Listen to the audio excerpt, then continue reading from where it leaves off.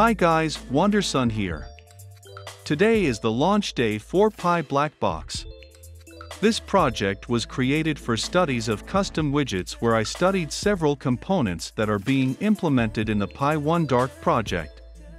Thanks to all Patreon supporters who helped in this project, without your help this and other projects would not be possible. This project is available for download for all on GitHub and you can use it as you wish. The project link is in the description of this video. Thank you all again and soon we will have the launch of our new project.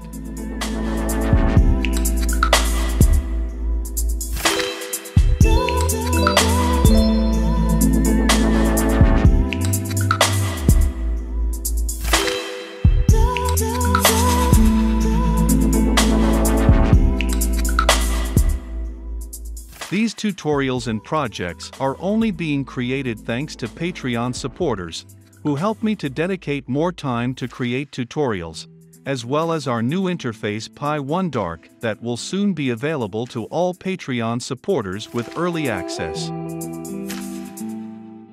Thanks to all Patreon supporters and all channel subscribers.